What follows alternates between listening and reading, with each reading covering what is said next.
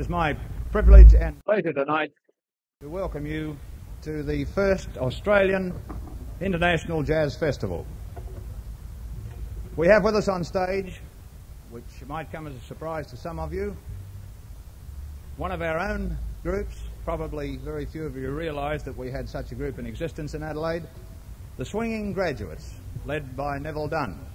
A hand for these boys, please, ladies and gentlemen. I'd like to give you a, little background on this band. Um, as a true jazz lover and enthusiast myself over a, a great number of years, uh, it has been my pleasure and privilege to work with boys such as these in Adelaide, uh, usually behind the scenes, because this word jazz, uh, until recently, has only come to the fore. Previously, it's been sort of relegated to the back room to the boys that play music and the general public, so to speak, in many cases have a misconception of the word jazz. I'd like to pay tribute, firstly, to Neville and the boys for keeping a group such as this going without, uh, practically without, any financial support whatsoever. They do it for the sheer love of it, and uh, without knocking any of the boys, I, I, do know that quite a few of them play professionally, and as professional musicians, have to play a lot of music that they don't particularly like playing, but they've got to eat. And this group is kept together with one or two professional engagements here and there, and the rest. Now, Neville Dunn, the Swinging Graduates, and it's Sandman.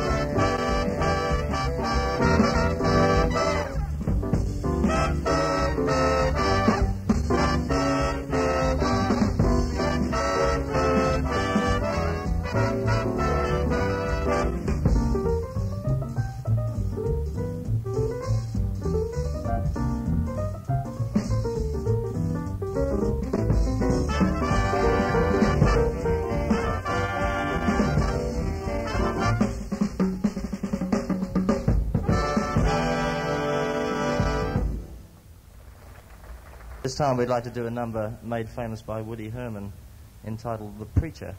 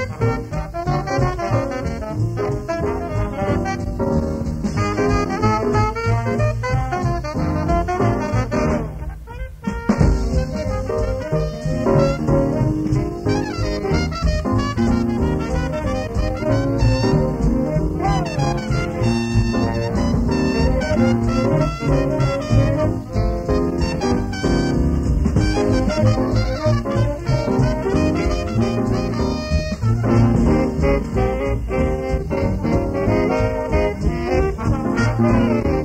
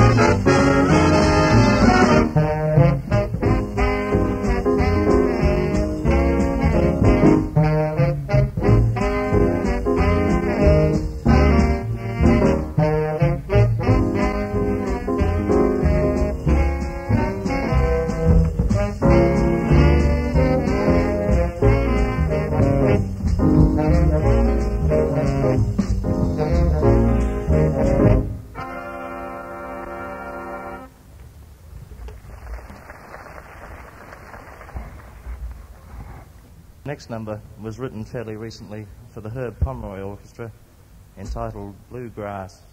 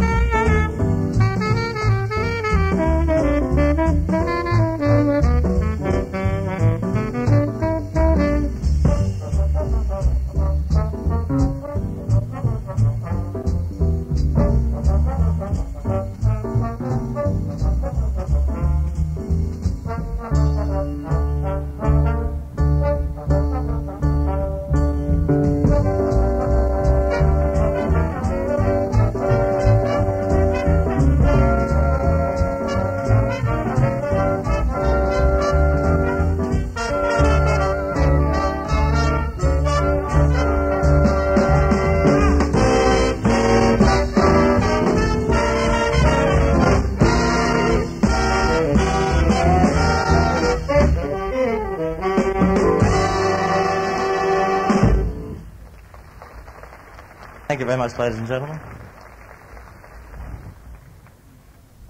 Kenton has always been uh, one of our favourite bands, and a composition written by Bill Holman for him we'd like to do now is entitled Kingfish.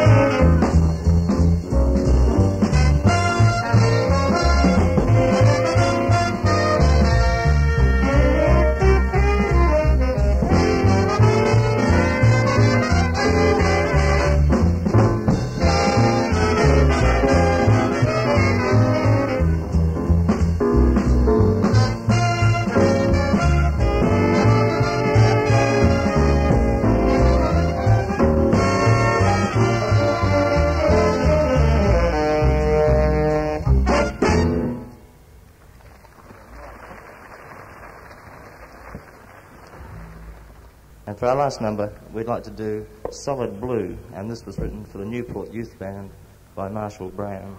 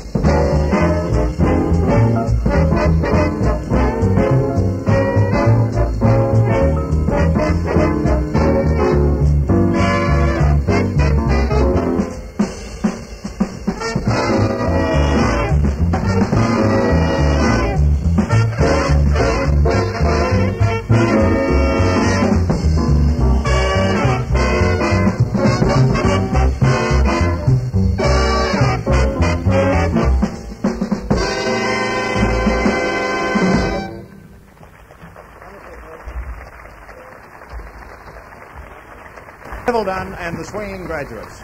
Thank you, Neville. Earlier, I'm sure that uh, not too many people in the audience tonight realise that we had a group of this size in Adelaide.